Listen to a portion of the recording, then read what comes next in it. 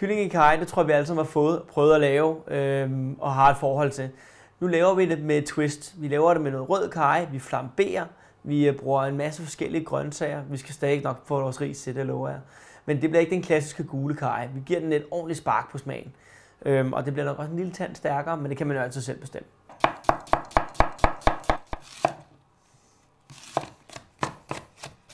Så skal vi have flækket kylling. Vi tilbereder på ben for at holde så meget saft og kraft tilbage i kyllingen som overhovedet muligt. Så det er altså i gang med en stor, god flækkekniv, der kan tåle at gå ned igennem noget ben.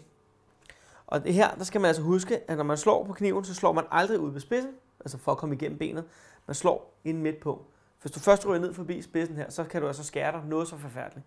Så slå herinde, hvor du har styr på kniven, hvor du ikke er nærheden af spidsen. Sådan der, så er vi igennem her. Halveret kylling. Så laver vi et, øh, tænker jeg, et vingestykke her. Så laver vi et lårstykke.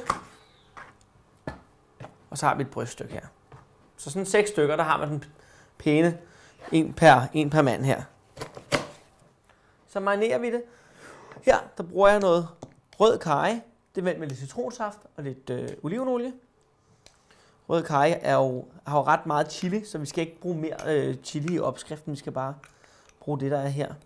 Og den mere klassiske kylling i karry opskrift finder I herinde på voresmad.dk. Men lige nu får I gourmetspis twist på det. Den marinerer vi med det her, altså vores rød karry, citronsaft og, øh, og olivenolie. En lille smule stødt koriander får det også. Koriander er jo meget en smagsag. Jeg ved godt, der er nogen, der synes, det er forfærdeligt, så lad være med at bruge det. Husk at lege med maden. Husk at gøre det til din egen ret. Så du må jo godt tage stilling til, om du kan lide koriander. Så hvis du ikke kan det, så skal du ikke i retten. En lille smule mel. Melet bruger vi for at jævne sovsen, når vi er i gang med at lave det. Man kan også godt, hvis man nu er glutenallergiker, der er jo flere og flere, der har problemer med. Så drop melet og bare kog sovsen mere ind. Øh, så kan får du præcis et dejligt cremet og fint resultat alligevel. Men det gør lige, at du får en anden cremet eller en anden jævnhed over det med melet. Så hvis du kan tåle det, brug det. Hvis du ikke kan tåle det, så lad være med at bruge det. Og det er bare en lille smule, der skal bruges. Det her, det vender vi bare lige hurtigt sammen. Og så skal vi på panden og stege og flambere lige om lidt. Så jeg lægger kyllingen på, på skinsiden, så vi får stegt den rigtig pænt af først. På en varm pande med en lille bit smule olie. Stegning her er også med til at åbne alle smagene i krydderierne. Når vi bruger karry og bruger de her varme krydderier, så det er godt at få stegt dem af. Det åbner altså deres smage meget mere. End hvis bare dumpe det direkte ned i en eller anden form for suppe eller sammenkogt ret. Det bliver lidt spændende. Så starter vi lige en lille flambering, i en lille smule rom. Så nu handler, handler det om at holde på hat og briller.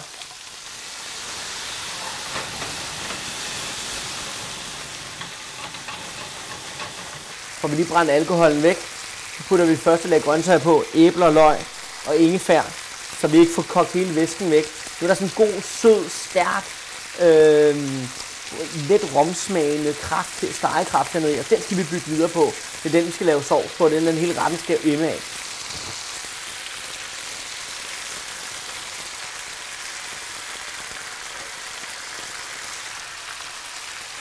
Så skal vi have en lille smule hønsbouillon på. Det kan bare komme fra en terning. Det kan også være, at man har et skrog liggende, man har kogt et hønsefong, man har i fryseren eller et eller andet, men en terning eller whatever. Det er lidt hønsebouillon til at give det lidt at, at simre i.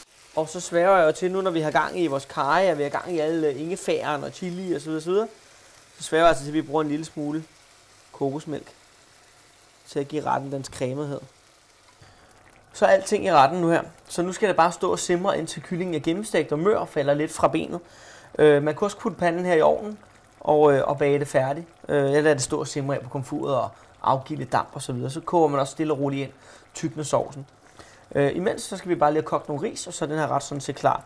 Jeg vil give den en halv times tid, så jeg tror, den er der. Således her.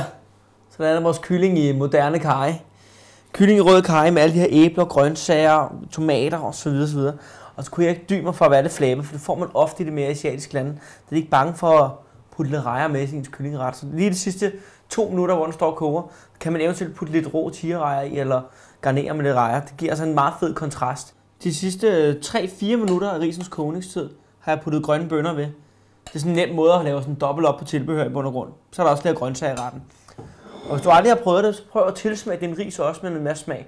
Vi har fået en skive citron, og en stang kanel. Det giver sådan lidt mere indisk eller asiatisk præg på det hele.